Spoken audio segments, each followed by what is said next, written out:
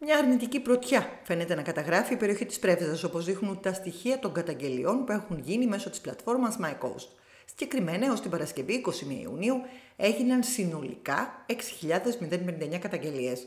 Οι λόγοι για τους οποίους οι πολίτες προχώρησαν σε καταγγελίες είναι διάφοροι. Από την παρακόλληση ελεύθερης πρόσβασης μέχρι την παρακόλληση πρόσβασης ΑΜΕΑ και την αυθαίρετη κατάληψη, αλλά και την ελληπή καθαριότητα.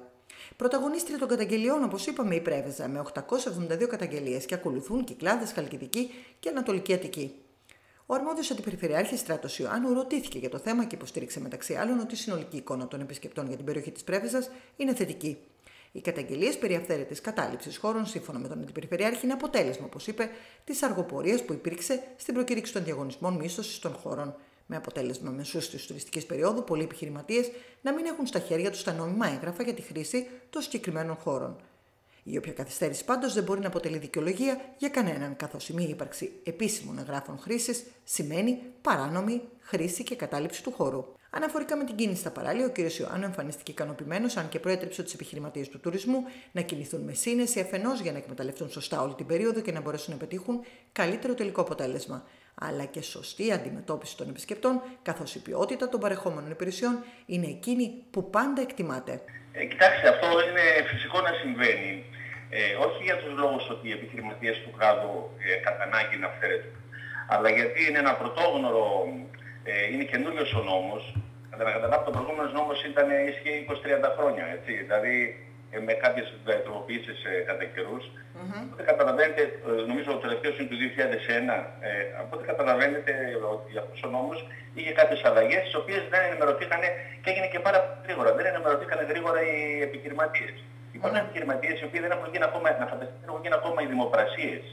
Οπότε, όταν, είναι, όταν ένας επιχειρηματίας έχει εκτιθεί ε, έναν χώρο να τον, ε, να τον ε, πάρει, το οποίο, το οποίο κάθε χρόνο τον έπαιρνε, αλλά πρέπει να γίνει η δημοπρασία. Οι δημοπρασίες δεν έχουν γίνει. Θα γίνουν τώρα 27 του μηνός, νομίζω, Ιουνίου.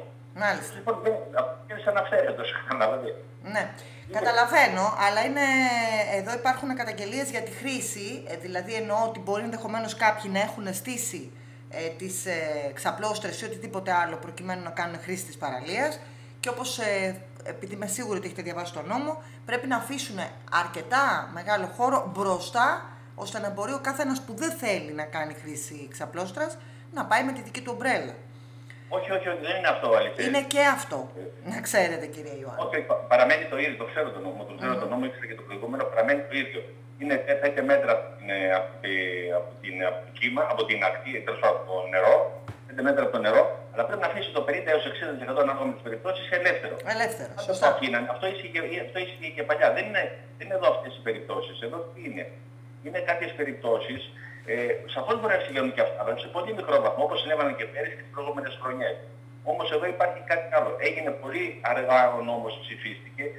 Οι δημοπρασίες δεν έχουν γίνει ακόμη. Εσείς είπατε ότι είμαστε μεσούσεις της... Ε, ναι, είμαστε... τελειώνει ο Ιούνιος. Ψάξτε με, όπως ακριβώς το λέτε. Μεσούσεις της ε, τουριστικής περίοδου. Και όμως ακόμα δεν έχουν γίνει δημοπρασίες για να δώσουν, ε, για να δούμε ποιος θα πάρει τους χώρους αυτούς και να τους βάλει.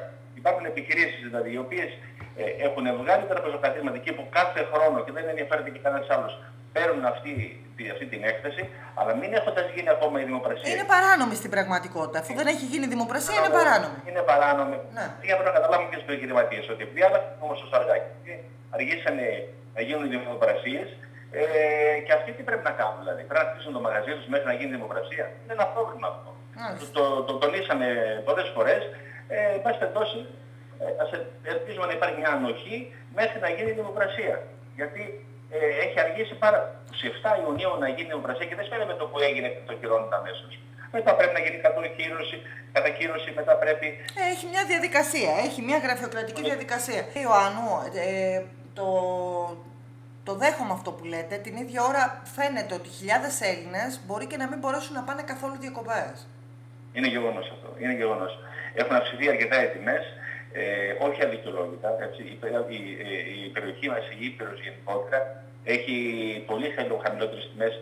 Δηλαδή, αν, αν, αν ταξιδέψετε, θα το καταλάβετε αυτό που σας λέω. Εγώ ε, ταξιδεύω αρκετές φορές και βλέπω ότι εμείς είμαστε από τους ε, πιο φτηνούς ε, σε όλη την Ελλάδα, Ναι. αλλά έχουν, έχουν ακριβήνει όλα. Το γνωρίζουμε. Δηλαδή, ε, δηλαδή δεν μπορεί ο επιχειρηματίας να συγκρατήσει πλέον να απορροφήσει το κόστος που υπάρχει.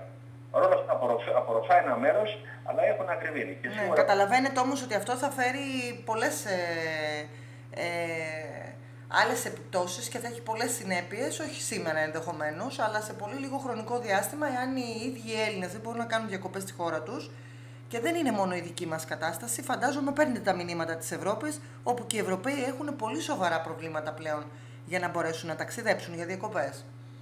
Έχετε απόλυτο δίκιο, το, το είπα πριν, το είπα λίγο συγκεκριμένα, λίγο ευγενικά, αλλά ακριβώς αυτό που λέτε εννοούσα. Εννοούσα δηλαδή ότι φέτος όταν είπα πρέπει να, να δουλεύουν και να παλέψουν οι επιχειρηματίες του κλάδου αυτό στον ορισμό του επιχειρηματία του τουρισμού, mm-hmm. σημαίνει ότι πρέπει να κάνει και προσφορές, πρέπει να δώσει και καλύτερες τιμές για να γεμίσει.